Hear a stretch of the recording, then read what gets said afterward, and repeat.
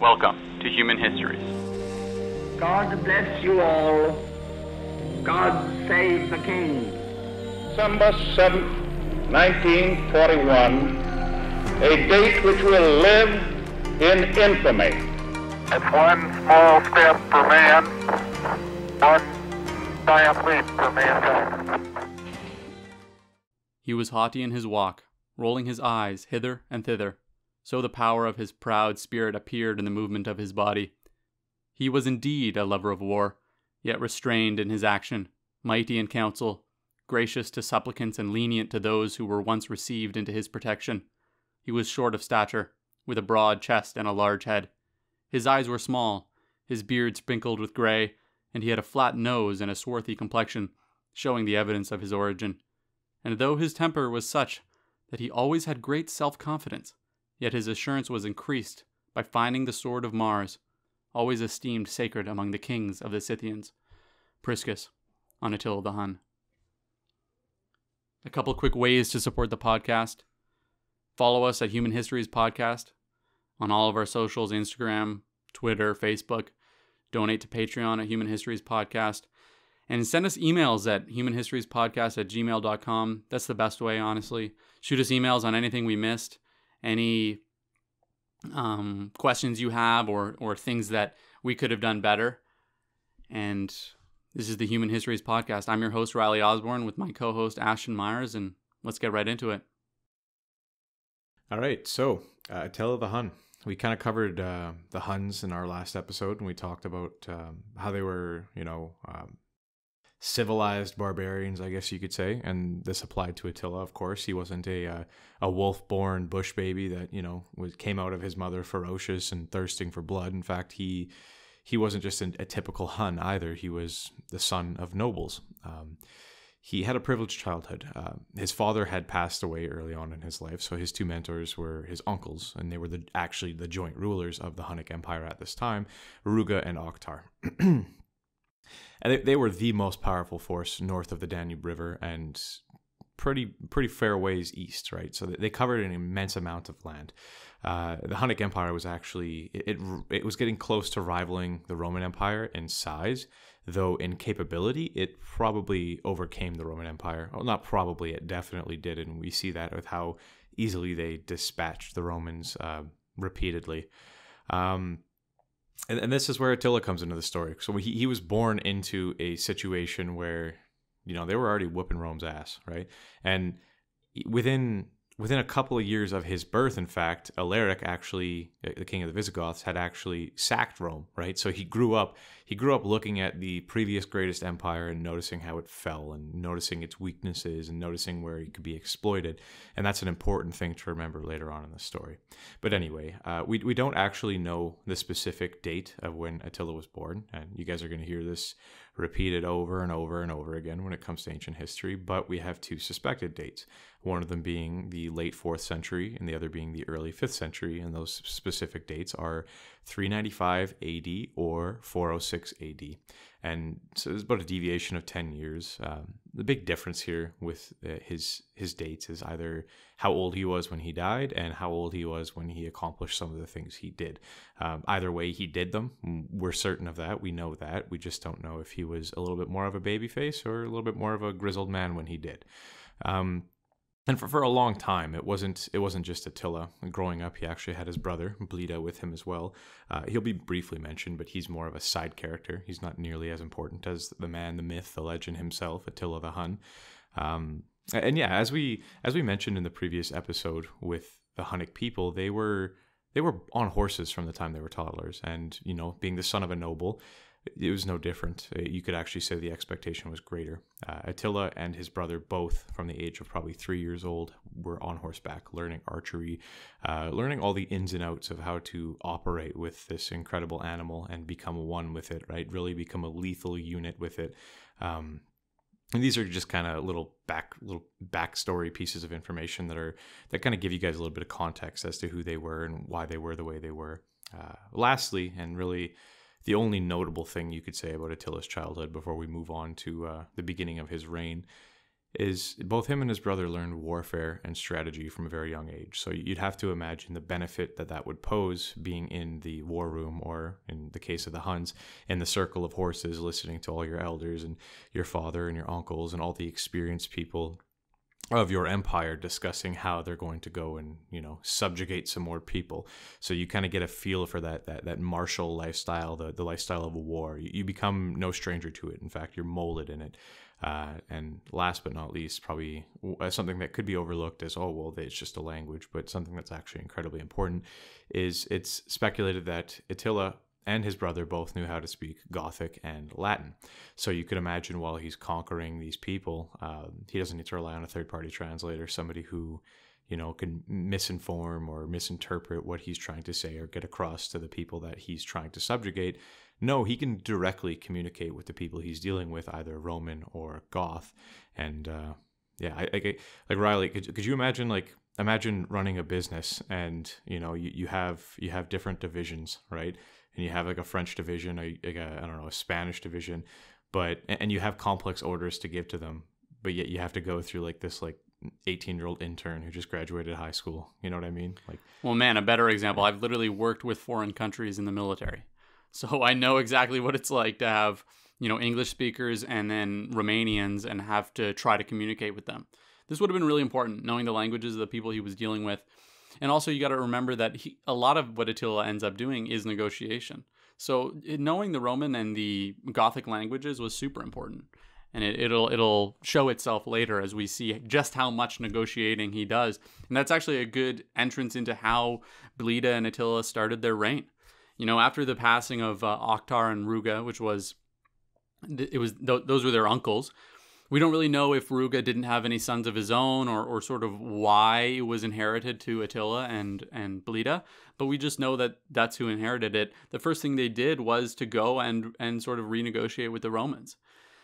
And it's hard to say what the power dynamic between Attila and Bleda was while they were co rulers, because, like Ashton said, in history we talk mostly about Attila himself. But for about 11 years, they ruled together. And we don't know if Attila was the king and Bleda was sort of his, his right hand man, or if they were co rulers, or if they had split the Hunnic Empire and they each owned one, uh, ruled one side of the Hunnic Empire and then would, would talk together. But we know that it was actually Hunnic tradition to sort of have multiple kings and multiple rulers. It's just really difficult for us to pinpoint the power dynamic of what was going on and why they were co ruling like this. And it's important to remember, uh, like we mentioned in the previous episode, the Huns weren't like it wasn't just like like the Romans in the sense of, like we are the Roman people. Like you were a Hun, but maybe you were a Hun that belonged to Group A or Group B or Group C or Group D. You weren't. It wasn't an. It wasn't a complete amalgamation where you were under one banner, right? So it was a. It, it was. I don't want to say tribal because I believe they were a bit more advanced than tribes, but they they were in a sense a kind of a federation that said okay these are our rulers these are the people we're going to follow but there is still also independent contingents contingents and detachments that could have operated independently so so maybe you know maybe maybe Bleda was in control of a couple of these different detachments and Attila had the rest we, we don't actually know yeah yeah, we don't actually know, and there's no way we'll ever really know. What we do know is that they worked together pretty simultaneously for for a while. They actually had a good co-ruler um, business going on. And the first thing they do is they renegotiate with the Romans, who were already paying them a sum of money that the that their uncles had sort of negotiated, and it was a decent sum of money. But I think that Attila and his brother realized they could squeeze a bit more out of this massive Roman Empire. And this this treaty is what was called the Treaty of Margus, and this occurred in, in 435. So the Romans were paying this massive sum, 700 pounds of gold a year and they were also decreeing that they wouldn't enter any alliances with Hun enemies. They would also protect the Danube frontier from possible invaders. And sorry, that, that's what the Huns would do in return for the Romans. But I think it's insane to note that the biggest deal in this conversation, the biggest deal in this um nego- like the biggest thing that was negotiated was the fact that the Huns just wouldn't attack the Romans and the Romans were paying them 700 pounds of gold a year. So that begs the question is this negotiation or is this extortion? What's really going on here? it's such an unbelievably one sided deal in retrospect that I think it really shows how powerful the Huns are in comparison to the Romans at the time. I mean, look at it like this too, right? Like the fact that they part of their to sweeten the pot with the Romans was them saying, "Hey, you know what? We'll protect the Danube frontier, which was their territory." So like that'd be like right, like that'd be like me saying to you, like, like, "Hey, bro, you know what? Um, you can pay me, and I will make sure that nobody comes on your lot when you're just renting like a little shack on my property, right? Like I'm like, hey, bro, nobody's gonna hurt you here, right? We're gonna protect you, but you just need to pay me for your protection. But I'm also protecting my own property, right? So it's like it's not it's not necessarily like the Romans were really getting much out of this. It was one of those like you'll see this a lot with the Huns and the Romans in their negotiations. They they they throw in a lot of like a lot of stuff that kind of makes you think like like they really they really have these guys like collared a hundred percent. The negotiations are, they, and they get bigger and bigger and bigger, as we'll see. It just gets more and more insane and more and more one-sided. You know, to add to what you just said, it's like you're having this negotiation with me just after you've broken both my knees, and then telling me you're going to protect me. It, it, that's how one-sided it is, right? So, so it also stated that they would return any Hunnic refugees that that had um, escaped to Rome and that were possible political enemies of of the Huns or however they were refugees from the Huns running away that the Huns wanted back. And then the lastly is the Romans would pay 8 solidi to the Huns for every Roman prisoner returned, which is a ransom. And detailed us how much like what a solidi is worth?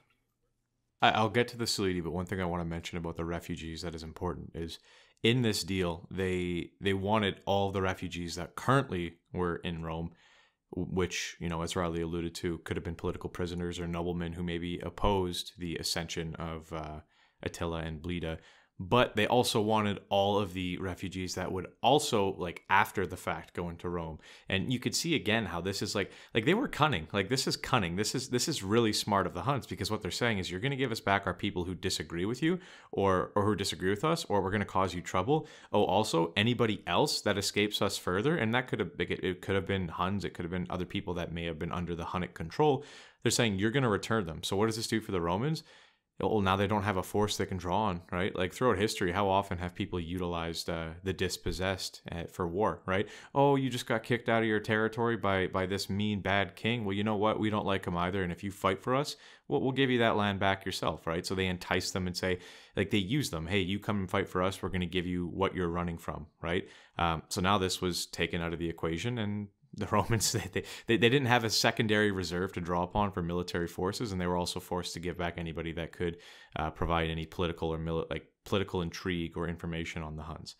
Uh, anyway, a solidi was uh, roughly about four uh, four and a half gram coin, and we're going to be bouncing back between uh, pounds and grams. Uh, so I'll, I'll try to. I'm going to stick to kilograms personally, so I'll try to make that seem a little bit as consistent as possible. But anyway, a solidi was a roughly four and a half gram coin of nearly pure gold, so it was, it was a pretty important coin.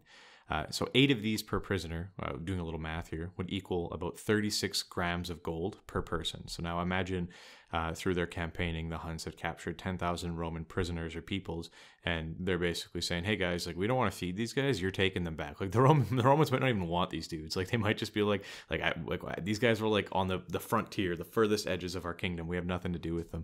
But the Huns are saying you're going to take them back. So now 36 grams of gold per person, when you multiply that by 10,000 people, that's 360 kilograms of extra gold on top of the 320 kilograms that was agreed upon yearly in the treaty, which is in kilograms, it's about 700 pounds.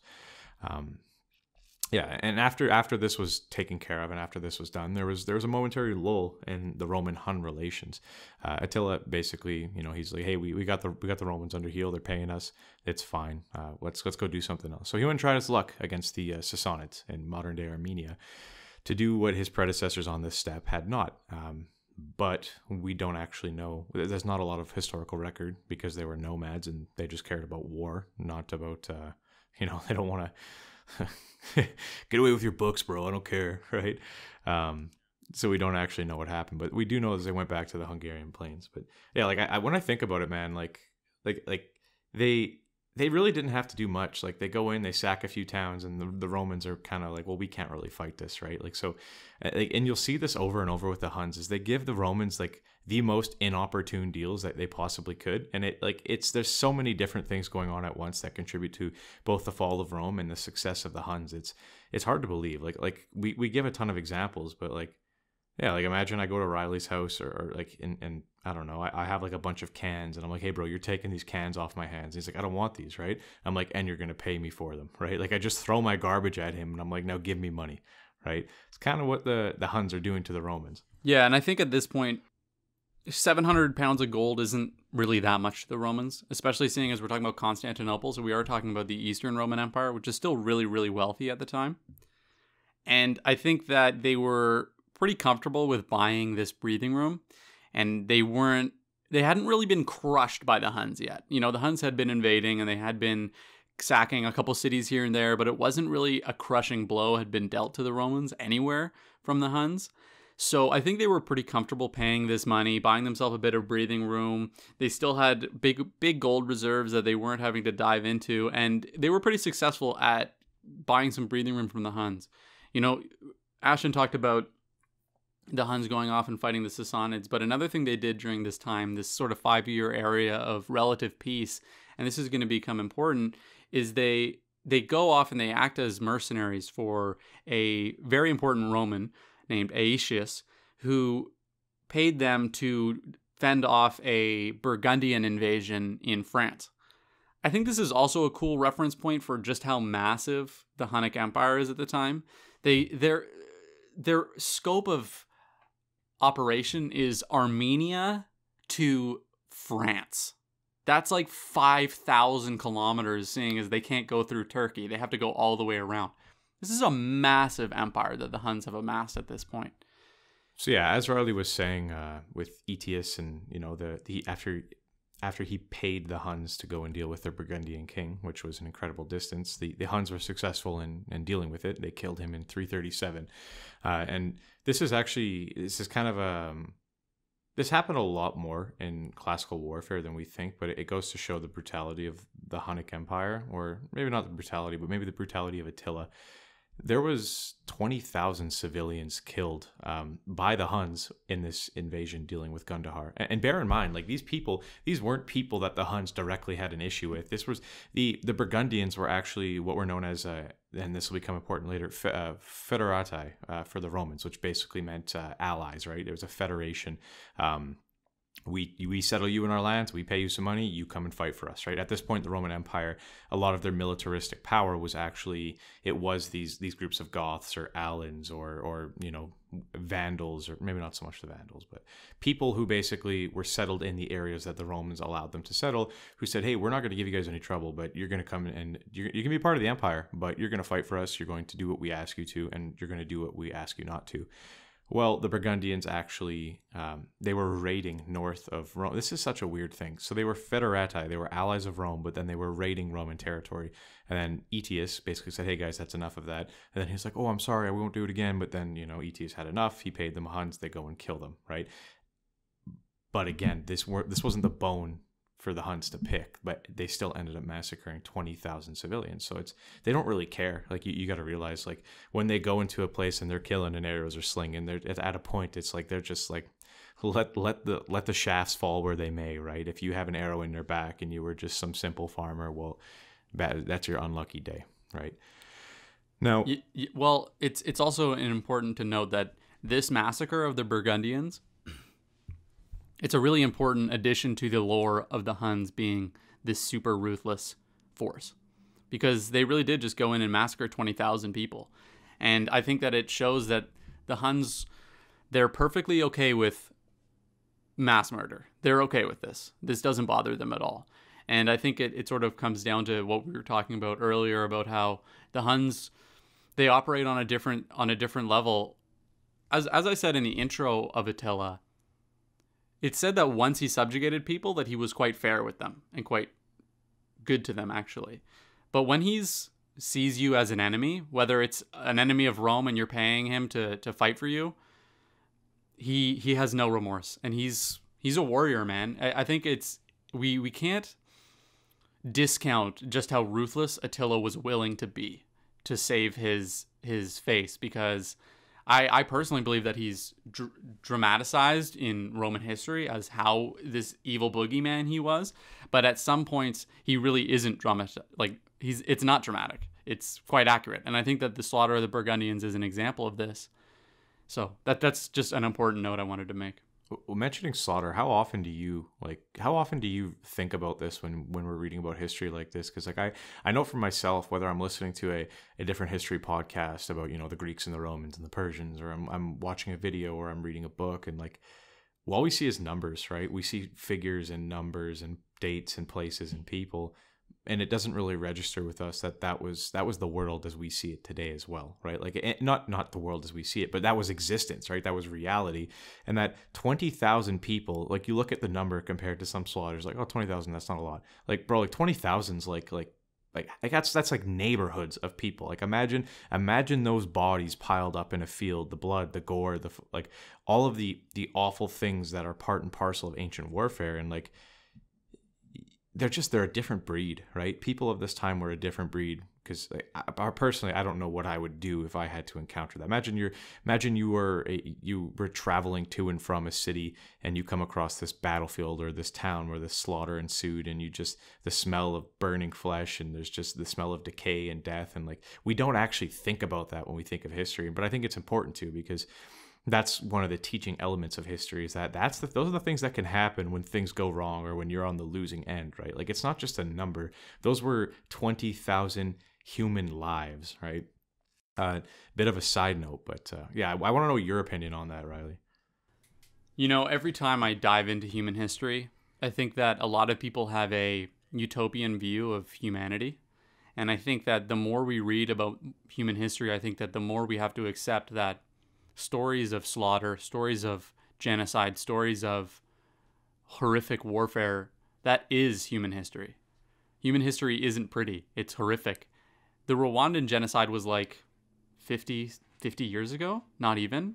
900,000 people slaughtered with machetes over 100 days. That's like in the in the scope of history that's like yesterday. This stuff is still happening. It's happening today as we speak. And the putting blinders on and pretending that that's not human nature almost like i think that's a stretch to say that's human nature but to say that it's very capable that all of us as humans can do these genocidal acts is something that we just have to accept right? I don't want to sell people these these fake wolf tickets of hey everything's going to be great and we're all happy go lucky people. That's not the reality of the situation and i think that attila is a great embodiment of someone who he just was doing what he was born and bred to do. This stuff is natural for him. Do you think that he went home and cried about the slaughter of the Burgundians? No. No, he just kept operating the way he did. This was this was a Tuesday for the Huns and it was it was what Attila had been grown up in was seeing these massacres. It was probably a victory for him, you know? And we would look at this retroactively and be like, "Oh my god, this is so horrible." But then realistically, it's like the slaughter of the Burgundians, compare that to the Holodomor or the Holocaust. Compare that to these these things that happened so so much more recently. We really haven't learned anything as people.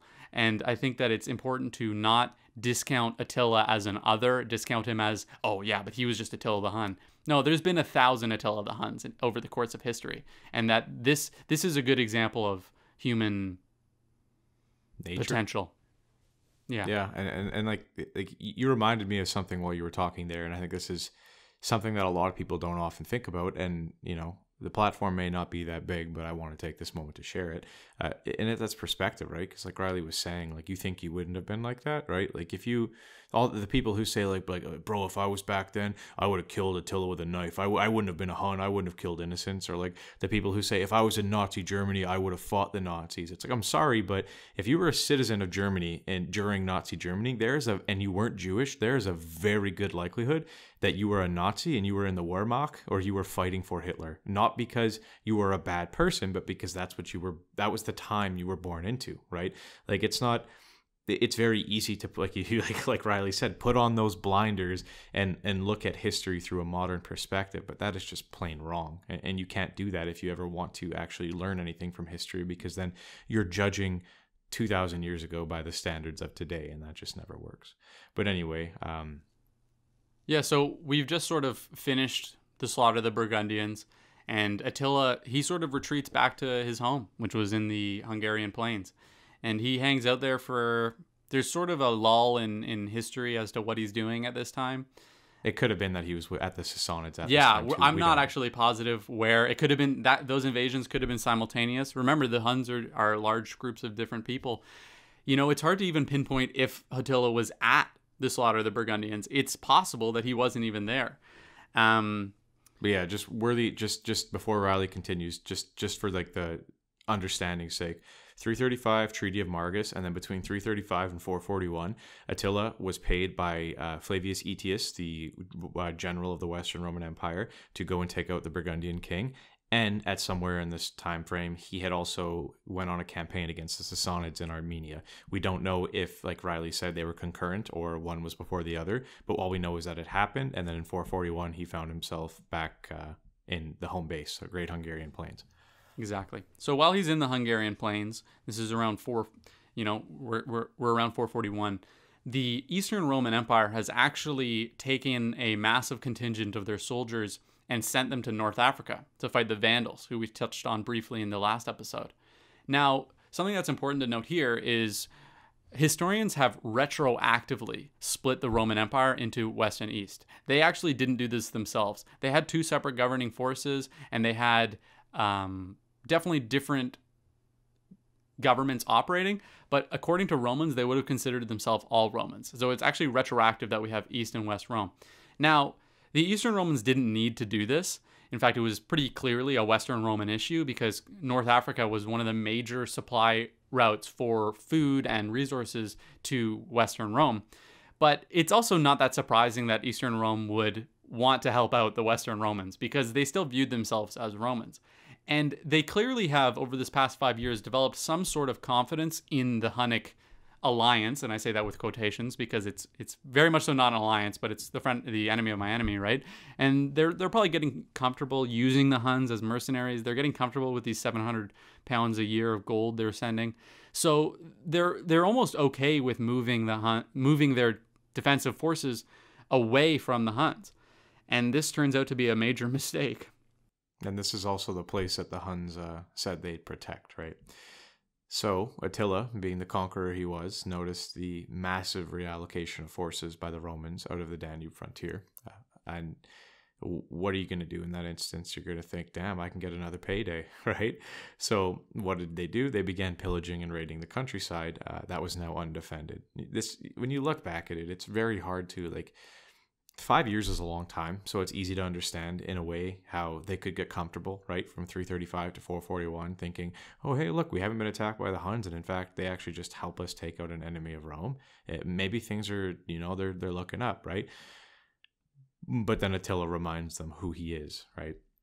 And it was at this point that, you know, like I said, they began pillaging, raiding, attacking, sacking towns, cities. And you might be saying, well, what about what about the Treaty of Margus, right? They they they agreed upon something, that, you know, but that, that didn't mean anything to Attila. He accused the Romans of first violating that treaty, uh, and how he did this. But he claimed that the Romans uh, had a bishop that desecrated Hunnic graves, and he also claimed that the Romans never actually returned those political prisoners and further prisoners that or, or refugees that fled into Rome. So at, at this point, you know, Attila's basically saying, like, listen, you guys, I'm doing, I'm justified here, right? I'm okay with doing what I'm doing because you guys, you guys screwed me over. So the Eastern Roman Empire uh, emperor sent uh, Flavius Aspar, who was a general, to deal with Attila and not deal with him, but to have negotiations with him.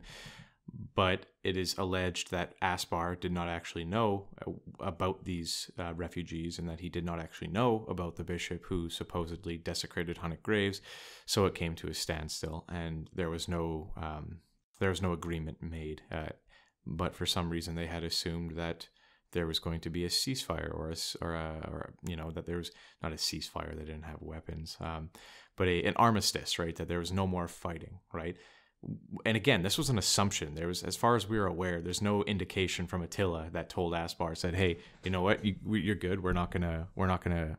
You guys are good. Go home." Right. So he was on his way back to Constantinople, and he reached there in the summer of 441 with no belief of an impending Hunnic invasion, which is just bonkers.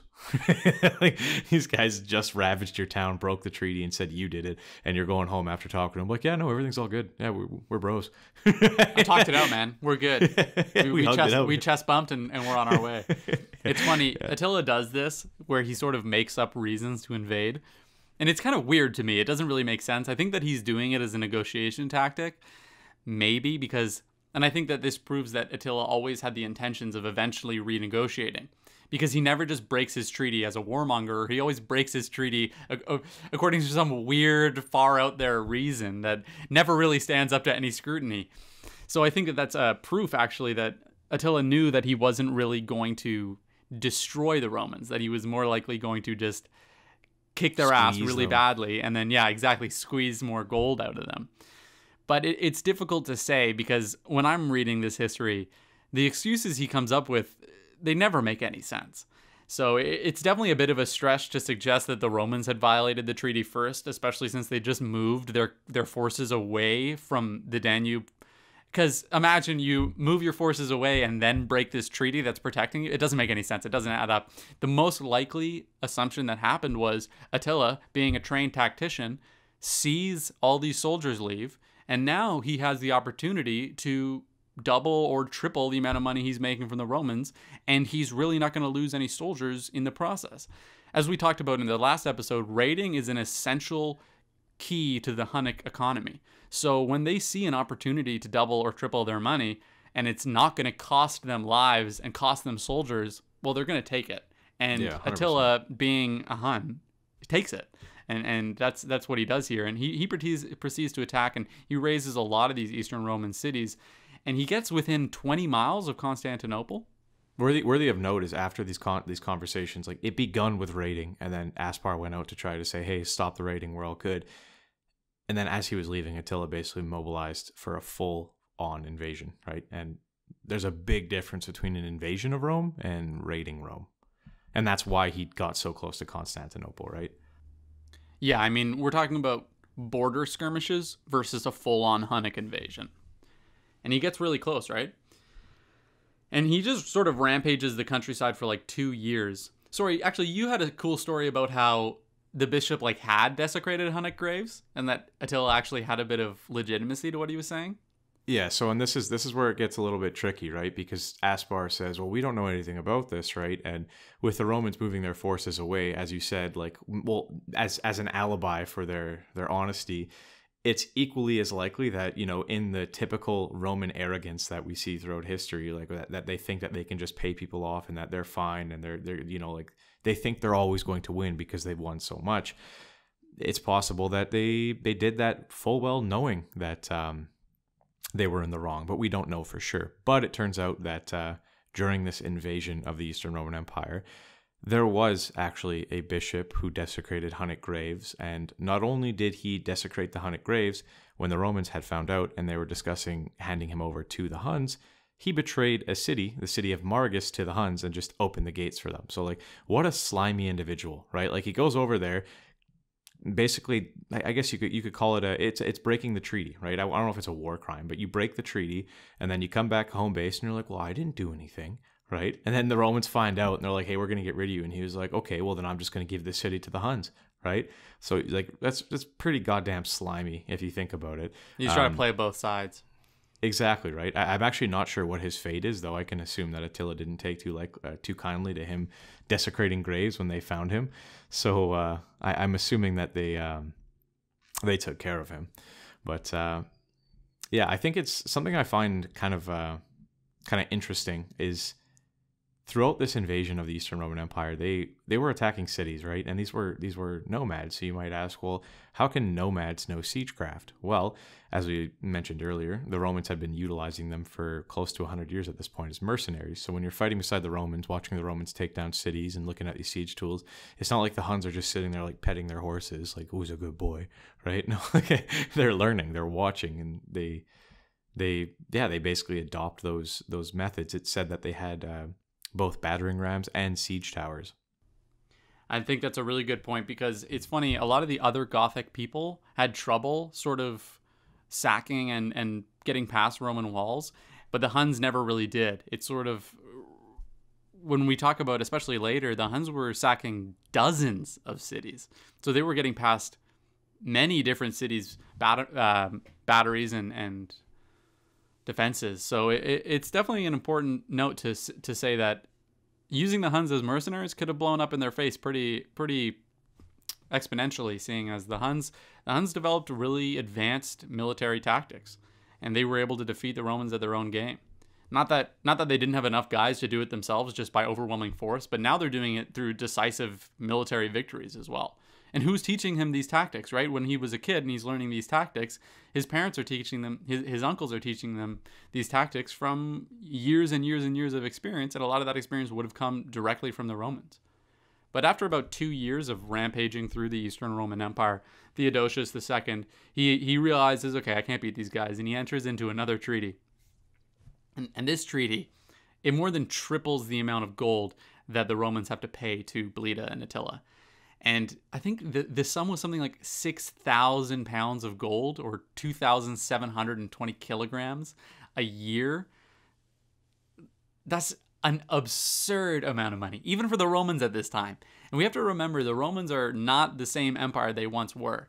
Something I was thinking about while I was studying this actually was, in my opinion, and I don't know what your opinion is, but my opinion, Augustus Caesar is the pinnacle of Rome, Roman history, right?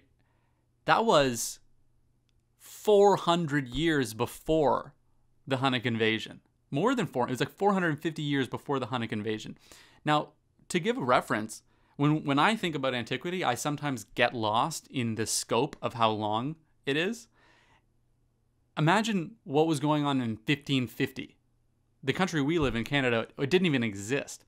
So the Rome of this period, the Rome dealing with the Huns, is so different. They're hundreds of years separated from the Rome that was this military might, ever expanding, trained, motivated soldiers, good leadership. This is gone. This is almost a completely different group of people running the country. It's been 400 years.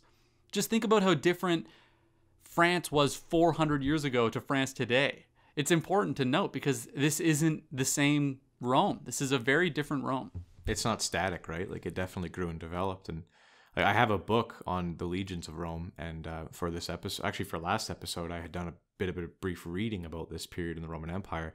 And I had mentioned this in the last episode, and I'm going to mention it again because it goes to show the difference in discipline between both forces. Like the Roman military, like the, the legit, like the, the legions at this point, they were complaining to their chain of command that their gear, their kit was too heavy, right? So like, well, I don't want to wear this helmet. I don't want to wear these this breastplate. It's too heavy. It's too hot out, right? it's like like these these these are the guys you have defending you against these these ruthless like horsemen that will cut you down and not have a second thought about it, right? It's it's pretty it's pretty incredible. Um, talking about how much the Romans had to pay, though, I want to riff on this a little bit because there's a little bit of math involved. Not nothing crazy, but it's it's fun for me. So this this new treaty signed in 443, uh, the Romans had to pay this, like Riley said, this flat fee of 2,720 kilograms of, of gold. That's 2,720 kilograms. That is immense. Um, and what was their justification for saying, hey, you got to pay us this incredible amount of money? Oh, well, because remember when we broke the treaty by raiding your territory? Yeah, when we broke the treaty, you guys actually stopped paying us, and we want you to pay us that money that we were owed in that time that we were taking more money from your your towns, right? Um, but anyway, uh, that alone, 2,720 kilograms, is equal to about three tons, or, you know, for comparison, two, that's about the size of two modern day cars worth of gold. So my, my Volkswagen Jetta sitting out in my parking lot, uh, two of those, that amount of gold. Imagine having to be the guy transporting that, right? Uh, on top of this, they also increased the, the ransom that we mentioned earlier of solidi, eight solidi, to 12. Now, this is where the, the math actually starts. Um, so now imagine again there was another 10,000 Roman prisoners, and it's very likely that there was far less because there'd only be, you know, like you're only willing to pay for certain people, and I'm sure the Romans would have would have fought for that. Like, hey, we don't want this scrub who's like 80 years old. Like, what's he going to do for us? I don't want to pay for him, right? Um, but anyway, for an arbitrary number, let's say there was another 10,000 prisoners that the Romans were taking back. So you're paying the 2,720 kilograms uh, in the one time fee. And now, assuming Attila wants his yearly payment of 950 kilograms up front, that's 3,670 kilograms. Now you add on the value from the ransom of the 10,000 prisoners, which alone, by the way, with the increased price, um, of the ransom would be 540 kilograms, which is greater than and you know almost double than what they were paying, paying previously just year by year. You're now paying Attila 4,210 kilograms of gold, and that's equal to about 4.7 US tons or about 3.2 modern cars weighed in gold. So imagine having to pay this to him as well right after he just ravaged and burned down your countryside. So now you have these towns that need repairing. You have displaced people that need food. You have you have your military is now decimated because you've been losing against him and you realize that you need to pay him. And on top of all of those other problems there's also a plague ravaging the world at this point. Imagine after on top of all these problems you got to pay this incredible amount. 4.7 tons. Think of what you think of when you think of a ton. You think of a whole heavy ass thing, right? 4.7 tons worth of gold out of the pockets of the, the Roman Empire to this guy who just just keeps on squeezing them. Like it like yeah, at this point, like the Romans, you know, and they're, they're again the Roman arrogance, they tried to disguise it as well. He's a client king of Rome. We were simply paying him to do our bidding and be a mercenary for us. In reality, the Romans were Attila's ATM. They were the, they were ready tellers, and uh, they were they were pretty goddamn subdued. Absolutely, you know, but it succeeds, right? They successfully pay Attila to go away, and he goes back to the Hungarian plains and it's quite crazy the time frame because he comes back in 2 years. So he's definitely a motivated man, but we don't really know what happens over these 2 years that he's gone for. All we know is that Attila comes back alone. So we know that as he's gone over these last next 2 years, Bleda ends up dead. Now, Priscus, who is a really important historian about the times of Attila, he writes that Attila killed his brother. Now, it's easily argued that uh, Bleda could have died of anything. He could have died of any of the million things that killed people back in these times, and that Priscus was just writing about just making the story a bit better. It, Priscus's writings, they never survived in their entirety. So we're taking a translation of a translation of a story that could have been dramatized pretty dramatically. When in reality, there's no real way that Priscus could have known what happened between Bleda and Attila. He would have been getting this information from rumors or who knows how he got it. Personally, I have no idea. I think it's totally plausible that Attila killed his brother, but I think it's also just as plausible that his brother died of anything. I mean, you could fall off a horse, break your neck, and be dead. Like, who knows? Anything could have happened. Life was tough at this time. And Attila and his brother, they reigned pretty amicably for like 11 years. So it, it's hard to say. I mean, imagine, like, I was actually going to mention this earlier in the podcast, but like we said about Ruga and Oktar, how they were the leaders of the Hunnic Empire, and then all of a sudden it became Attila and Bleda. Well, some historians like to speculate, um, and the point of why I'm bringing this up, some historians like to speculate that there was actually uh, there were sons of Ruga and Oktar that somehow, and I'm doing air quotes right now, somehow, meaning Attila and Bleda dispatched them uh, or disposed of them on campaign, somehow died, which then left Attila and Bleda to be the sole heir. And then you see the same recurring theme here when Bleda dies. Like, you see this back in like even like going back is like the Persian Empire, right? Like when like when some of the kings died, they there's always these elaborate stories that people make up, right? Like they want to tell a story, they want to they want to make it a, into a, a, book or like a like a play, right? Like that a lot of history is told by these people in the sense where they want it to be captivating, and so you lose a lot of the factual basis of it, and you see that here with Attila and Bleda, like it's whenever you see and he was assassinated so he could take sole power I, I, would urge you to be suspicious because of how often that motif comes up. I was going to ask you riley because i know you looked into more of priscus than i, I did. Who who what well who was he? Was he like was he a diplomat? Was he just a historian? I'm not sure. I actually didn't i didn't check too much as to what his major role in rome was but his writing is definitely dramatic. It's definitely written to be read historians, especially during this time, they didn't do as much of the university level, this is what happened, researching and then just sort of placing the words on a page. They always wrote very they wrote for a reader. Yeah, and they also wrote for a reader and they also they were pretty comfortable with taking information from people that were not definite sources. Yeah, right? cra- so Priscus could have Priscus could have been getting information from some random guy that came down from the Hunnic people and was like, "Hey man, yeah, I was just hanging out with Attila and I saw him kill his brother." And Priscus was like, "That's a cool story because we haven't seen his brother since." And then just writes it down. There's no real way to say, "Oh yeah, no." And historians like to even today when they read something that's cool, they like to pass that information on. It's what we're doing right now. Realistically, if this podcast was a was just like a hey this is what happened with i wouldn't be saying that attila killed his brother because i don't have that information. But it's a cool story and, and it's also it could potentially be true. So i want to give our listeners as much information as we possibly can. But if i was writing an essay all i would say is we don't know what happened. Attila comes back alone. But it's important that he comes back. And I think that I know, and I know with Priscus, I don't know what he was doing at this time when Bleda died. I do know that he was a uh, he was a, a diplomat, or he was part of the uh, emissary or embassy or whatever word you want to use to Attila. But this was in 449, right? So this is four years after the fact.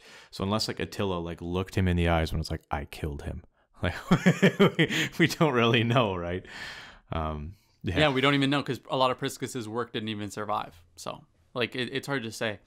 But another important point is during this time that Attila's gone, we have to remember that the Romans had signed a treaty that was unbelievably expensive, even to them at this time, especially seeing as they just had a bunch of their area sacked by the Huns. So, a bunch of their money making capabilities limited.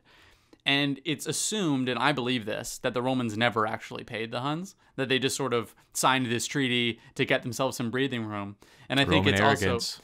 I, I don't even know if that's arrogance, man, because you have to then, at, at that point, you have to decide okay, am I going to pay the Huns for security that's not confirmed at all, or am I going to take that money and instead raise a military, build defenses, and then and then try to fight them on the field? And that's probably what they did. they chose a gambit, you know, to take a take a line from one of their predecessors that was one of the greatest men of all of Roman history, Julius Caesar. You know, the die is cast, right? They made it. I mean, I would have done the same thing if I was Pro- if I was yeah. the emperor. I would have been like, okay, I can't trust these Hun guys. I'm not going to pay them this absorbent amount of money. I'm instead going to raise a military. And Attila uses this as his. Now he's got another reason to come back. Is hey, you guys haven't been paying me.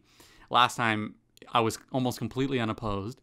This is an easy cash grab, and he comes back after not even four years away. He comes back to the Balkans, and he just this time it's a whole different scale of destruction. He ravages a recording of up to 70 cities and towns, just destroys them.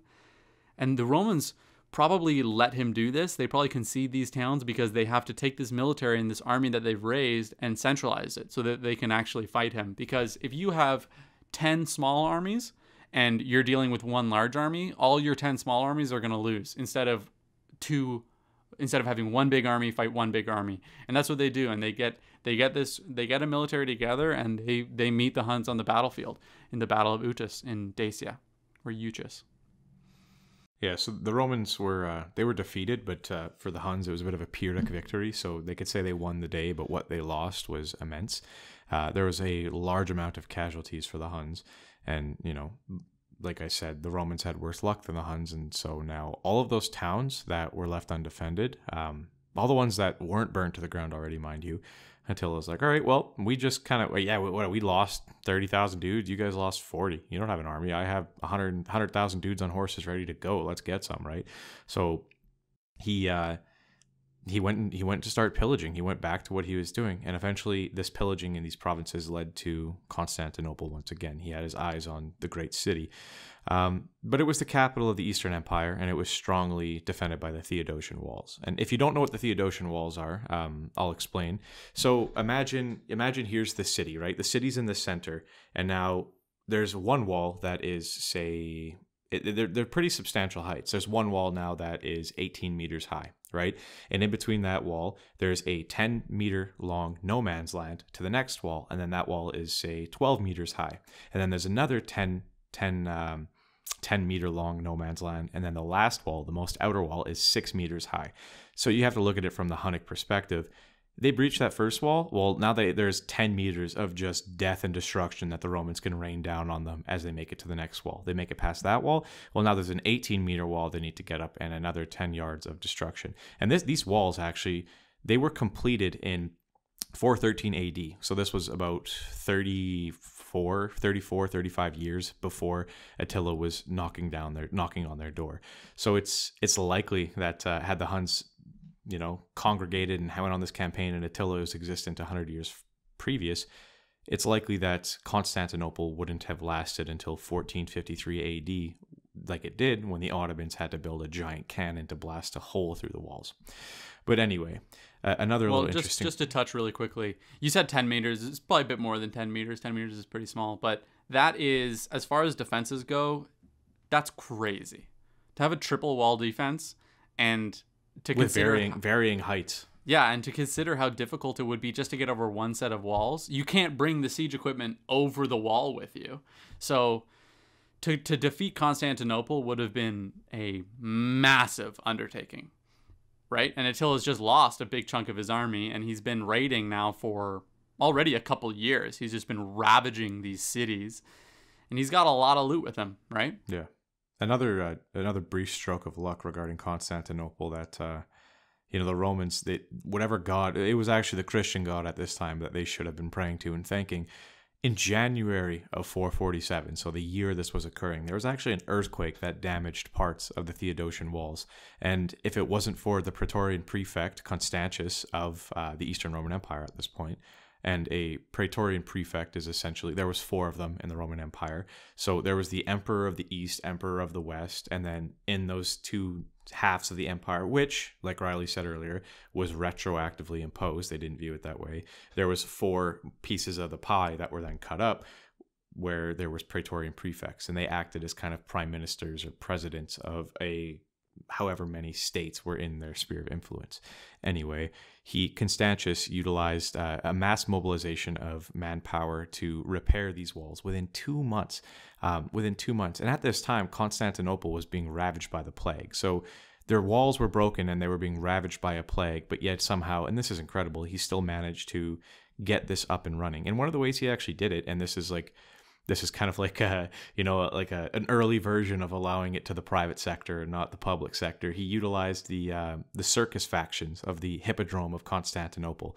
So what does that mean? He basically said hey you carnies you guys are good at setting things up and tearing it down for your shows. Come help me rebuild these walls. And they managed to secure their fortifications within two months which is massive because had that not happened it's unlikely attila would have turned his attention southwards um, which you know which gave the Romans some breathing room. And you know, Riley will get into what he did when he went south because I've been talking about walls for 10 minutes, so I need a drink of water. well, I actually did have a quick point on taking Constantinople, and I think that this goes back into an analyzation of Attila's movements and also how the Huns operated at this time. I, I've read some historians say that there's it's inexplicable why he didn't go after Constantinople. That it doesn't really make sense why he didn't, you know, rally his forces and that he he had such a focus on Constantinople. In my opinion, I think Attila probably felt pretty accomplished as defeating the Romans at this time. I think that after this massive rampage of destruction and defeating Romans time and time again, I don't think that taking Constantinople to him would have been some great victory because we have to remember that the Huns are doing this not strictly for egotistical gain, and they're not trying to expand their empire. They very rarely go into an area, destroy everything, and then stay and plant their roots there. They're not like a lot of other cultures. They're not like the Romans, like that. They like to go in, destroy, take money, and then leave, and they don't want to cut off the. They're using Constantinople as a bank so destroying it for temporary money is probably going to be less beneficial for Attila in the long run. Realistically, he's right outside the walls. He's got a massive army. He's defeated the Romans every time he's come into contact with them. His ego's set. So he does he does instead of go to Constantinople, which would have been incredibly costly for him as far as losing soldiers would have been. It would have been probably not worth it in the long run.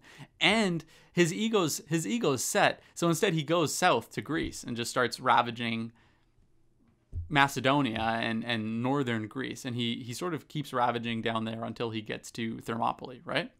Yeah, and he stopped at Thermopylae, and at that point, uh, a yet another treaty is signed. Hey, shocker!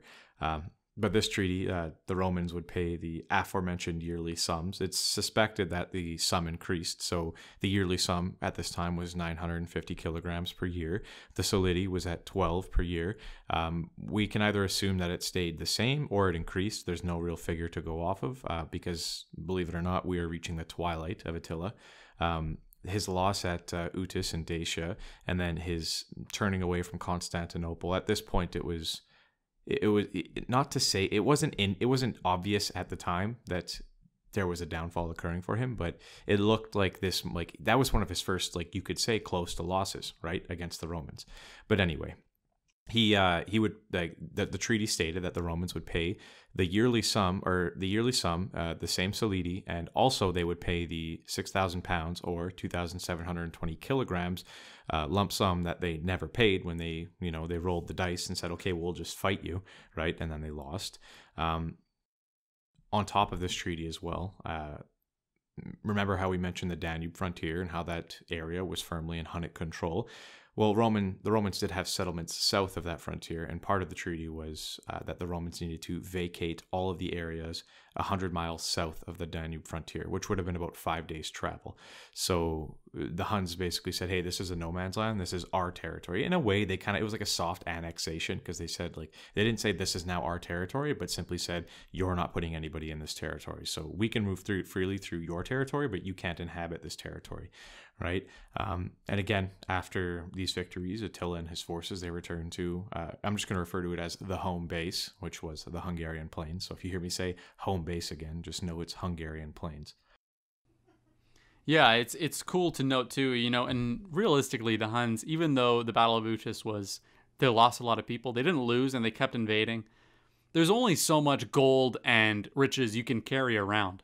So these invasions, they have a time limit. They have an expiration date where Attila's going to have to go back. He's going to have to let his his men rest and recover, get fat.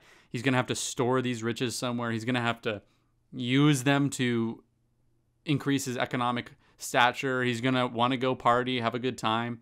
So there's a lot of reasons outside of, oh, this became dangerous for him to stop his invasions. And also, like Ashton was saying, there is a plague going on. And it's cool if you look at a lot of a lot of history and if you look at militaries that moved around, they lost massive numbers of people to disease. So, I mean, going back and resetting in the Hungarian plains, which is a place where he's completely safe, no one's going to come and mess with the Huns. um, it, this is this is perfectly good for him, and and I think that he was pretty confident in his defeat of Eastern Rome. Like I said, there's a lot of historians that they paint the picture that it doesn't make sense why Attila left and never came back and never finished defeating Constantinople. In my opinion, he did defeat Constantinople. Do you know what I mean? Like, sure, he didn't take the city, but he was completely undefeated by Eastern Rome. In my opinion, he, he's he's very confident that he's completed enough in the region. I mean, considering the fact that nobody took the city until the Ottomans uh, a thousand years later, like, yeah, he, he pretty much did all that he could do, right? Like he had exactly. it to the, he had it to the point where the Romans were stuck inside the city, and that if they came out, like they were on his playground, right? Constantinople, um, in my opinion, might they that might as well have been a completely impenetrable city at the yeah. time. For yeah. the technology that people had at the time, it was pretty much impossible for anyone to take Constantinople. Unless you had like 500,000 people and a thousand trebuchets, right? Like you would have and to... we're willing to lose three quarters of them. Exactly. You would have to pepper that place. Uh, a fun note about uh, Attila that um, this actually, I believe, came from Priscus uh, when he was uh, an envoy to uh, Attila he actually went to um, it was I think it was pronounced Wallachia, which was like the the home base uh, in the area in the Hungarian plains um, of Attila. It is said that he threw a great banquet for the Roman envoys. So he was like, "Oh, hey, what's up, guys? Like, I love Romans." he threw a banquet for them, and it said that at this banquet, and this is a bit telling of his character, he everybody else had silver and gold cups and goblets and many of the nobles had gold and jewelry adorning their horses but attila was simple. It is said that he wore simple dress simple clothing. His horse was unadorned. Uh, he ate off of a he ate a like a basically like a stick of mutton off of a wooden plate and drank out of a wooden cup. So very ascetic very stoic. He wasn't which is is bizarre. Like it makes you wonder if the conquering was for his people or if it was for himself and the image. When it seems like his image he portrayed was as somebody who just needed the fundamentals, right? But it's you know it's pretty remarkable when you're probably one of the wealthiest people in the world at this time. And as Riley was saying, just this just popped into my mind about uh, the Huns on the Hungarian plain and why nobody would go and attack them there. Um, a little fun fact about history this type of people, nomadic horse tribes, have been causing problems for great empires for like, let's look at it like this. So th- at this point in history, this was about 1500 years ago before us, and at this point in history, 450. 1500 years before that, the Scythians and even possibly the Xiongnu, as we mentioned in the last episode, were causing problems for the Babylonians, for basically Mesopotamia, for the Babylonians, the Assyrians, for the uh, the Persians when they came to. So like these guys were tough to deal with, and like what are you gonna That's do? why the Great Wall exists. exactly In China. and, and like and like what are you gonna do right because like you, you go and you try to attack the huns like if you actually try to launch launch an offensive it's like bro they live on a plain they can just run away from you like they don't they don't have forts and cities and towns and garrisons that you can capture and raze like yeah maybe they can like the, literally the one thing that they could do is maybe find burial sites to goad you into a battle right but outside of that like there's they, like if they don't want to fight you this is what makes them so frustrating right? Because if they don't want to fight you they don't have to fight you. But if they want to take what you have you have to fight them right? So it's they're they're an incredibly versatile group of people that were just so incredibly effective. Yeah, and as you know, as you mentioned there, even finding a burial site, the Huns kept their burial sites secret for their chieftains. So it's like even for them, it's even an, an extra layer of security. It was it was almost impossible to take the Huns on in their home homeland. Um, although there is actually a point where that might have happened, but that's later in the story, and we'll get to that in a second. But at this point, so you said that Aetius is he's gone and he's hanging out with Attila, right? Uh, no, he that was in I think 433. There was like this was this is more Roman history than it is uh, uh, Hunnic history, but there was a, a civil war essentially brewing in um, the Western Roman Empire. The the king uh, Valentian III, he was a child. Um, his mother uh, Galla Placidia, she kind of pulled the strings, and Galla Placidia was allied with Bonifacius, a guy who was a governor of uh, North Africa.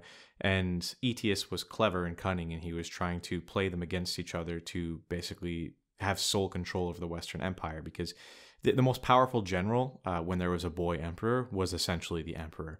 Um, so in 433, uh, he was exiled to the Huns. So he knew Attila personally. Like they had, they had, you know, they'd hung out before. But not only that, but Aetius actually, um, he as a as a young man in about 408 um, BC, which or AD, sorry, was he went and was a hostage of the Huns, um, and the hostage is a political hostage, not as like actually taken hostage. Uh, so he learned their ways. He knew their language. He knew their he knew their tactics. He knew their strategy. He knew them as a people, which you know it contributes to the idea of how Aetius was actually effective. He he wasn't a great general in the sense that he was noble and honorable, but he was a good tactician and great at warfare. Um, so he he definitely had he had ties to the Huns. He knew the Yeah, Huns. and and he'd used them to defeat the Burgundians, right? Yeah, yeah. So he, So- he he knew what they were capable of, right? But yeah, And he becomes an important character because Attila, now that he's he's headed back to the Hungarian plains, he's sort of defeated the Eastern Roman Empire. Now he sets his eyes on the Western Roman Empire. And his official declaration is that he, he intends to, to conquer the Visigoth kingdom, which is ruled by King Theodoric. And it, it's likely that he was spurred on by the gifts provided by, how do you pronounce that? Gesseric? I, it's there's many different. There's there's some say Genseric, some say Gaiseric, some say like yeah I don't know Gaiseric. Uh, Gaiseric is what I say, but but he's king of the Vandals in North Africa.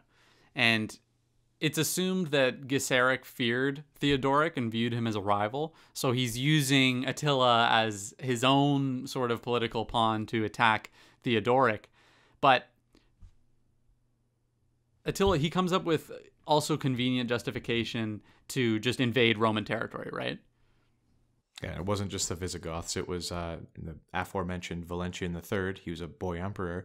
Um, his he had a sister named Honoria, and it is said that Honoria had sent a ring uh, and a letter to Attila asking for asking to be wed. Right, and you know it. Attila Attila decided, hey, you know what? This is obviously a proposal, and now as my dowry, I want half of the Western Roman Empire. And again, this is just Attila with his far out. Like, this is like me going to Riley's house and, like, I don't know, man. Like, I steal his car and I break it. And then I'm like, bro, you need to pay me for this. And he's like, what are you talking about? You just broke my car. And I'm like, remember that one time I lent you five bucks when we went to the movie? Like it's like Yeah, it's like exactly. just- you're just pulling you're just pulling things out of the ether and just coming up with justifications. And it's supposedly Honoria's uh, intent was to utilize Attila, Attila as um, an honorary magister militum, which in Latin means supreme commander of the military. Uh, for leverage. So maybe she wanted to supplant Valentian III because she was unhappy that she was being wed off to some dumb aristocrat that she didn't care for. Um, and this was not uncommon for not uncommon for ambitious Roman women to try to do, but Attila wasn't a pawn. Um, I, would be when I when I read things like these, like I, I kind of I'm like, yeah, okay, could be, makes sense, but a lot of historians, especially around Rome, like when things go wrong, they're like they, they blame the women, they blame the powerful women. They're like, oh, she was plotting, oh, she was trying to seize power for her son. Like it's it always comes back to some weird plotting uh, machination from a queen or a queen sister or something like that. So like it's very likely that this did occur, but I'd also take it with a, a grain of salt. That not that the the ring wasn't sent. It's very likely that she sent the ring.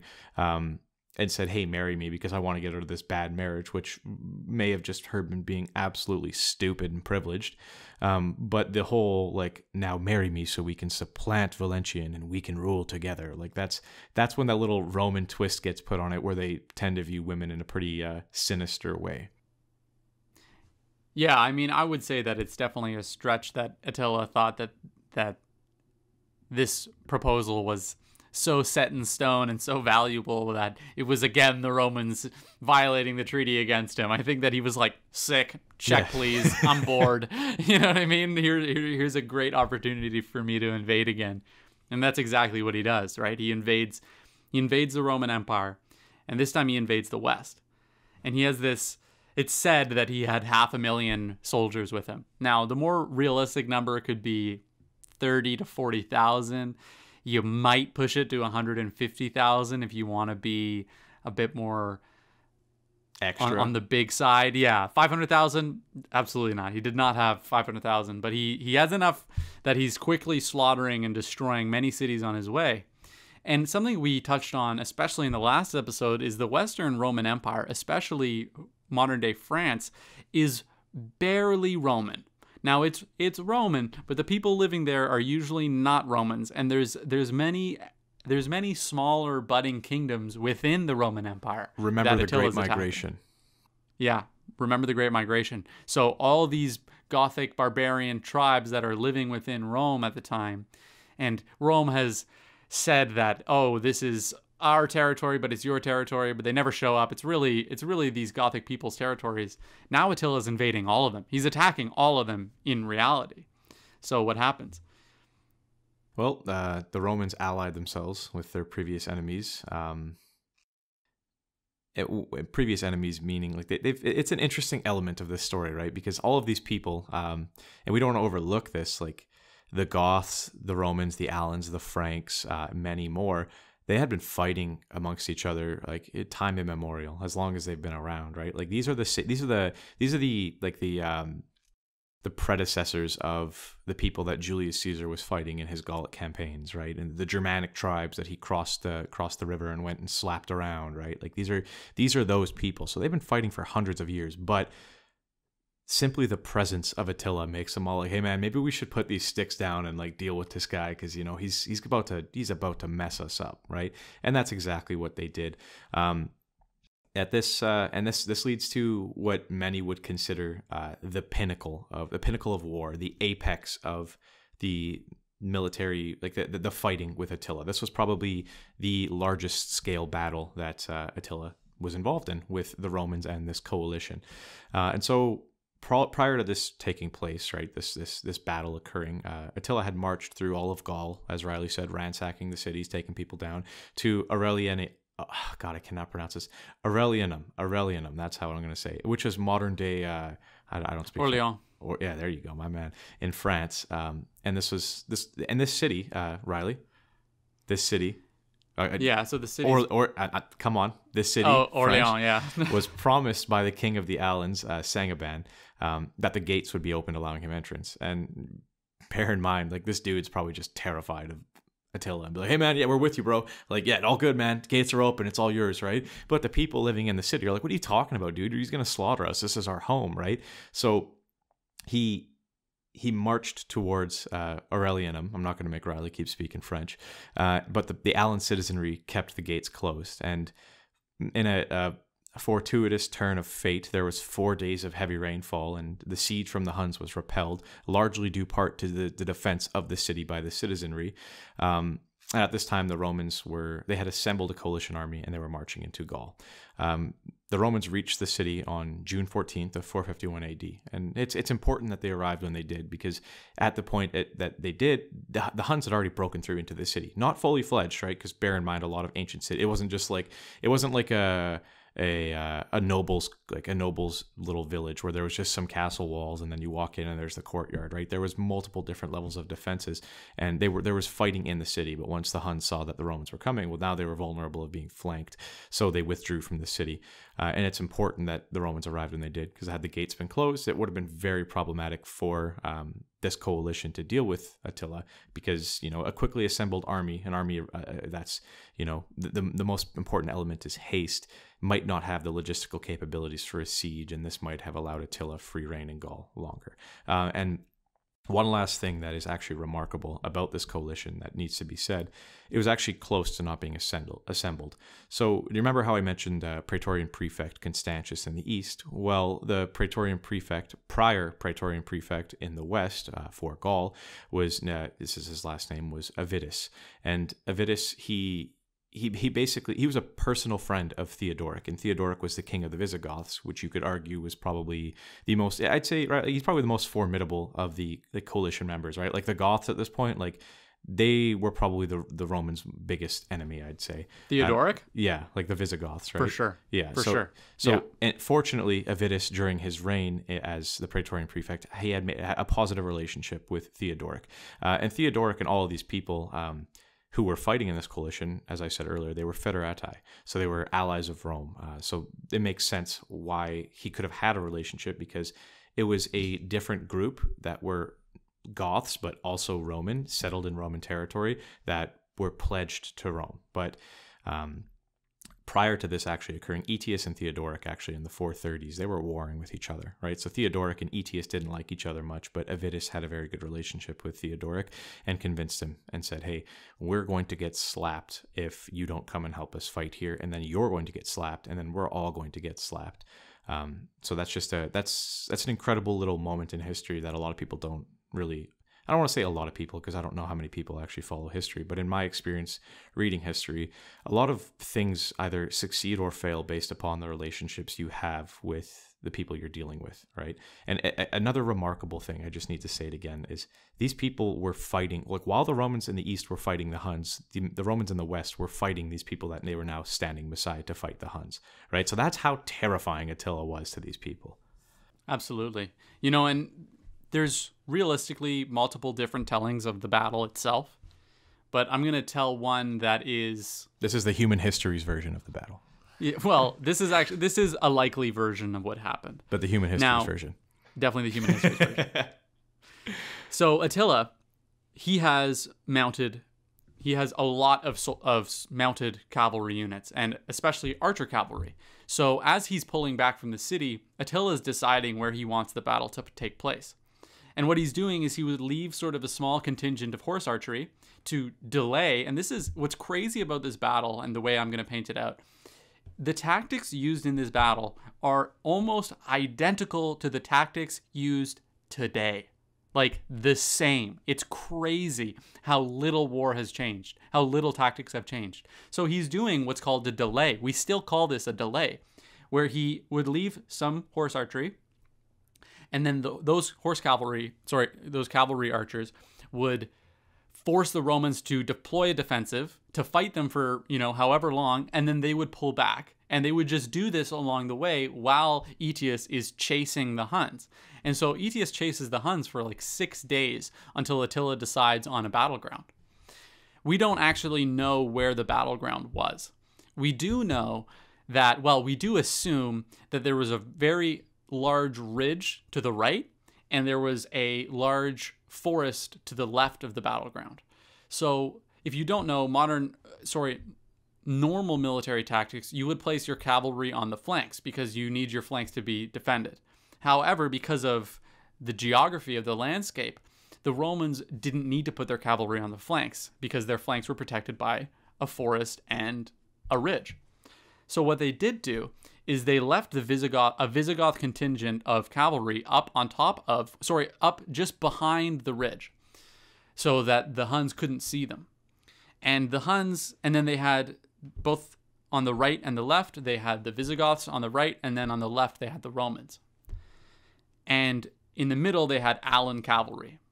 And if you don't know who we're talking about, last episode was great to go back and, and figure this out, but this is the different parts of the coalition. And this is why the Visigoths are such an important factor at this battle. One of the suspected reasons they had the Alans in the middle. Um, and they, this happens all throughout ancient warfare. You'll see in like a Greek phalanx, they'll be the most experienced men at the front and at the back, and they'll put the people who they think are most likely to run in the center. That way, there's nowhere for them to go. And that was kind of the situation with the Alans. If you remember, the leader of the Alans, Sangiban, had promised to open the city uh, to Attila. So they're they're the, Alan citizenry were pretty legit, but you know their their leadership they they were they were questionable. So that they had placed them in a position where like, listen, you guys are getting hammered first, and there's no running here, right?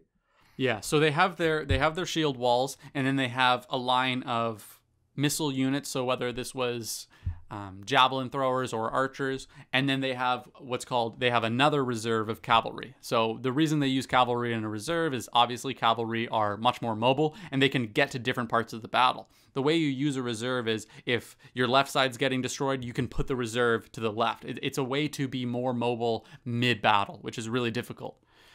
So what happens is the Huns attack the center and they rout the Alan cavalry. Like Alan Ashton was saying, the Alans were not exactly the most motivated soldiers of this battle. And they rout the Alan cavalry. Now the Roman center is open, and Attila pulls his horsemen back, and then he runs them along the the lines of Roman and Visigoth soldiers, and they shoot their arrows. But they actually lose quite a few soldiers doing this because the shield walls are up. The Huns don't do much damage, but the archers from behind the Romans and the Visigoths actually do kill quite a few of the Hun cavalry. So Attila circles his cavalry back, gets more troops, advances all of his troops along the two front lines of the Romans and the Visigoths, and then he attacks the Visigoths through the open center with his cavalry. Now, the reserve cavalry that Aetius has, is it Aetius? Aetius. Yeah, Aetius has. The reserve cavalry he has, he uses them to sort of get the Alans under control again, and he attacks the center that has now been exposed. This is when King Theodoric dies. It's when King Theodoric's men are being flanked by Hun cavalry that and attacked from the front by Hun infantry that he gets killed. Now remember earlier I talked about a smaller contingent of cavalry hidden behind this ridgeline, this very important ridgeline. This is King Theodoric's son. Now I'm telling this story and it is a bit dramatized. We don't know if, if Theodoric's son heard about this. All we do know is that he comes down from the ridgeline, flanks the Huns who don't see this cavalry unit that's been hiding behind the ridgeline, and just smokes them along in front of the Visigoth frontier. So this is a way, and this is an example of the story that could explain how the Huns were defeated this day. But what's important is the Romans and their coalition defeat the Huns, which is crazy.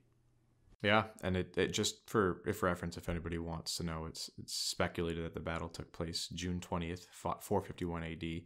Some people say it happened in July or as far as September twenty seventh, but you know that's unimportant. But what is important is that the Romans and the Goths are suspected to have won, but it was not a win without death.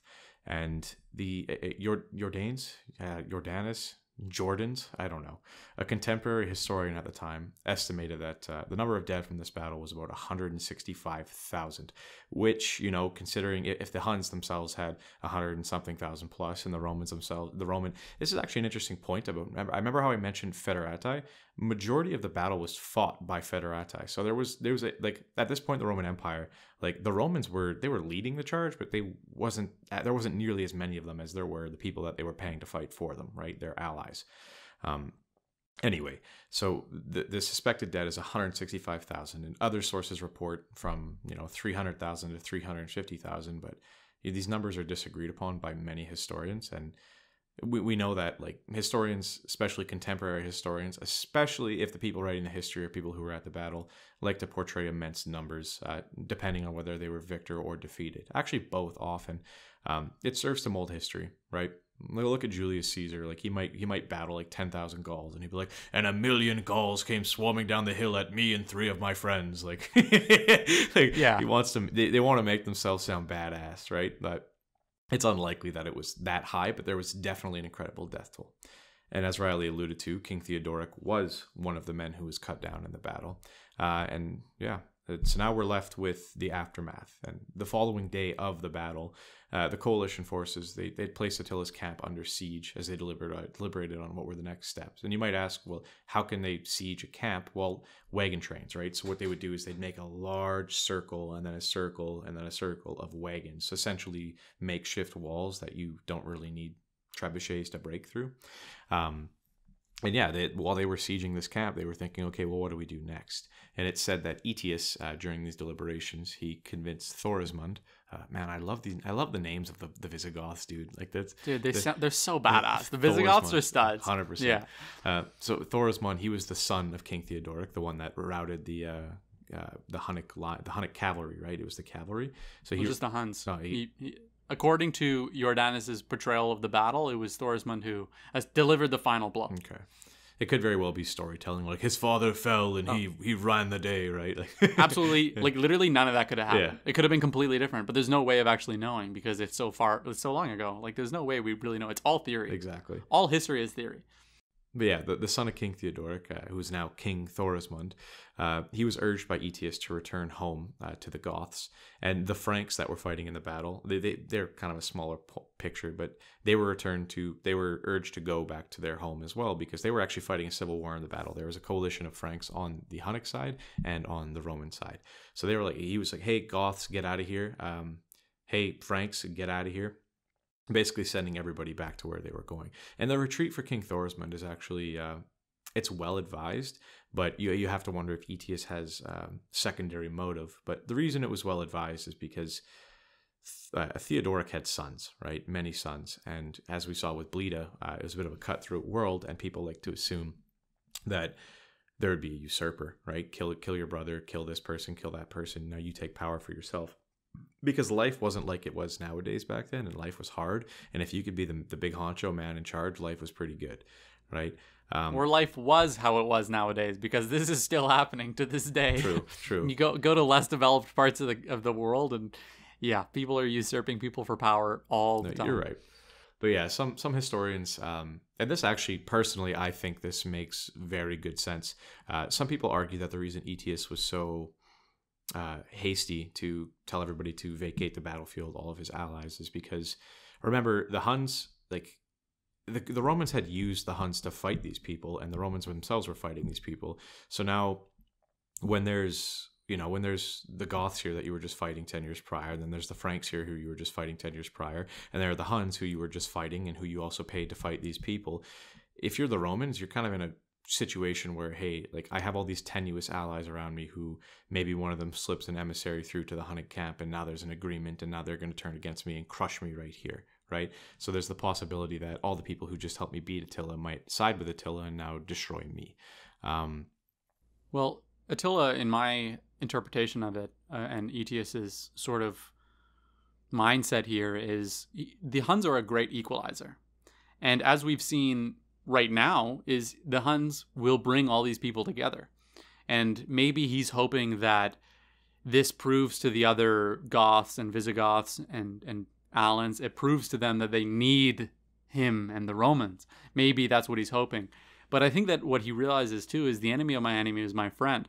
So it's as likely, and in fact, we'll see further in history, but it's as likely that Aetius and his Roman buddies get destroyed by the Huns if the Huns come back, as it is that they get destroyed by the Visigoths if the Huns don't come back.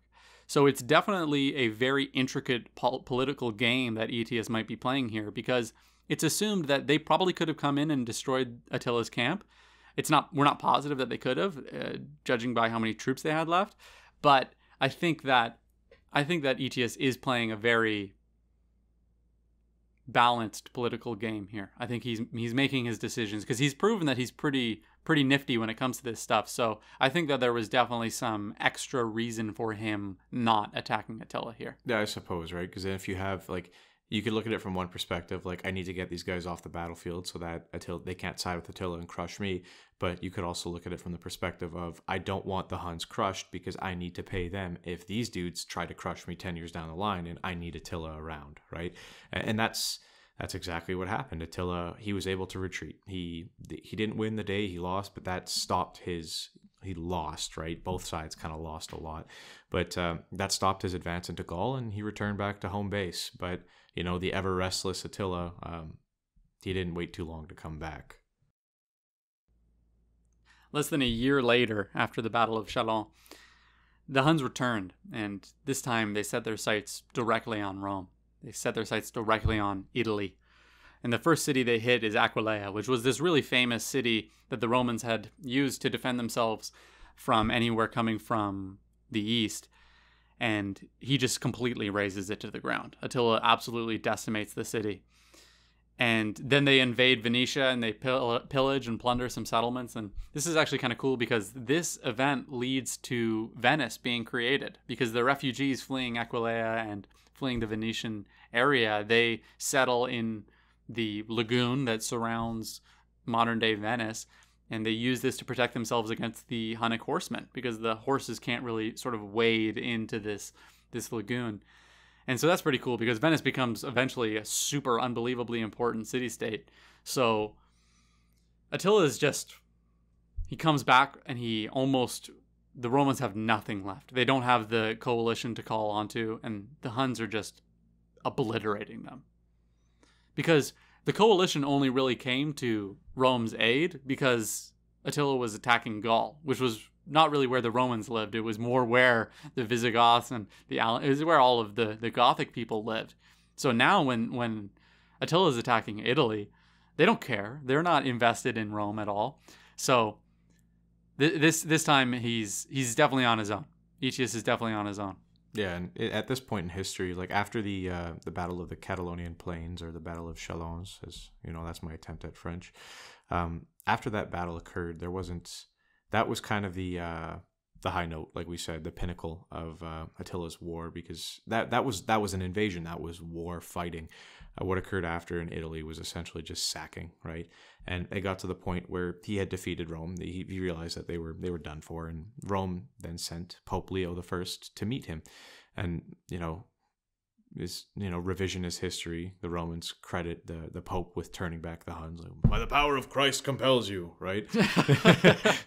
what what in reality, what's most likely is, uh, like we had mentioned prior, in the East and in the West as well, there was plague, right? There was plague and famine, all of these things occurring. Um, in the world at this time. So it's likely that the Huns said, you know what, man, like, we're not getting much out of here. My people are sick. You guys are really sick. Like, I've already gotten what I want. You guys are all kind of like, I just burnt down Aquileia and half of your other cities. I'm going back to home base, right? I'm going to go have some R&R. Yeah, and a point to, to mention there, too, is the Western Roman Empire fell 20 years after this invasion. Yeah. Not even. I think it was like 21 years. 476 So- AD. Exactly. So when Attila's invading Italy, unlike when he was invading the Balkans and invading the Eastern Roman Empire, the Vandals have captured North Africa, which is Italy's main source of food and important supplies. So while Attila's raiding Italy, he's not actually getting much because the people he's raiding barely have anything for themselves. Rome is is crumbling. 20 years is no amount of time. So Rome is already crumbling. So not only are his people getting sick from from disease. His soldiers are not having enough food to eat. They're really not getting much money out of this invasion. He's already obliterated Aquileia. He he has he's winning everywhere. He's almost completely unchallenged. And then Pope Leo shows up with a big card of gold and says, "Please go away. For the love of God, get out of here." And Attila's like, "Okay, dude, whatever. You're right. I won." You know, and to to go back and say that Pope Leo comes out and just like magically convinces Attila the freaking Hun to go away on his own is a bit ridiculous. I think that it's much easier to assume that there was a lot of factors going into why Attila decides to leave, but that's what he does. He decides to go back and kick it, you know, and he he decides to finally after, you know, years of invading now. He's been on the warpath for pretty much a, a couple 18? years on end. 18 years. Yeah. So I think he decides to go back and just post up for a couple years, and that's what he does. And He just goes back and starts hanging out. He takes yet another bride, and uh, this is sort of where the story winds down. Yeah, this was this was in 453 that he left Italy and like Riley said gets married. Um and this that's hey, you guys made it to basically the end. There's not much else to say. He was uh while celebrating the new marriage that he had just christened, I suppose. Um suspected that he had choked to death on his own blood. Uh, and, and naturally, the details of what happened are unknown, and I'm sure you guys are tired of it. But you know, left to speculation due to history. Um, However, it is thought that he died uh, lying on his back. Uh, he could have been murdered by uh, the, the woman who he had married, or had a burst blood vessel, or it could have been internal bleeding caused by excessive drinking. Uh, and we mentioned this in the last episode, actually, that uh, the Huns hadn't had a taste of Roman wine until they got into Rome. And once they had a taste for it, that taste, you know, never went away. So it could have been that potentially. Um, they have actually, like, I, I find the Huns have really interesting traditions. The way they, like, they, they bury their chieftains, right? Their leaders, the respect they show to them. It kind of it kind of blows me away, like the, the especially the secrecy with the way they're buried, and they're not just like they're not buried just like you know. It's not like throw some throw them in a casket, throw some dirt on it. It's uh they put them into three different coffins. Yeah, they put them into a they put them into a gold coffin, and then they put a bigger silver coffin around the gold coffin, and then they put an even bigger iron coffin around both of those coffins. And it's cool, you know, when Attila dies, however he dies, all the Hunnic warriors cut their hair and slice their faces to honor his death. He was the ultimate warrior to them. He was the great leader. And I think that that is a good way to end because it does paint a different picture of Attila. You know, if you look at how the Huns treated him compared to how he's written about, it's very dramatically different. And I think that that's a great example of Attila being a good leader. At the end of the day, if we're looking at it, if we're removing morality, if we're removing any opinions on invasion and destroying things and pillaging cities, if we're looking at it strictly from the sense of who was Attila to the Huns, Attila to the Huns was a great leader. He was a great tactician. He was a great military leader. He brought them to them as a warrior people. He brought them the utmost Glory. respect and glory, right? So they bury him in a way that, according to Hunnic tradition, they take a bunch of slaves and they dig a big hole, they bury it in a river. and then it they, said they diverted a river to bury him in the riverbed. yeah, we can't know that though because we don't know But where the freaking pretty damn cool. burial site is. But yeah, it's pretty cool. And then they kill all the slaves that buried him to hide his location forever. And they successfully did. And we've never found where Attila the Hun's buried. So it's pretty amazing to end on that note. Yeah, and within 15 short years in 468, the Hunnic Empire that Attila had amassed was fractured, splintered. It was on the decline. Um, it was never the same. His children tried to maintain it, but they were not the men that Attila was. So, uh, like Riley said, Attila he uh, he personified kind of what it meant to be a Hun. He was the best of them, and the Huns they, they came on strong like a whirlwind, and as fast as they arrived, they exited the scene. Um, I suppose you could say uh, that the candle that burns twice as bright lasts half as long. And that's it. That's Attila the Hun. Thanks for listening. Thanks for listening to Human Histories. I'm Riley Osborne with your host Ashton Myers.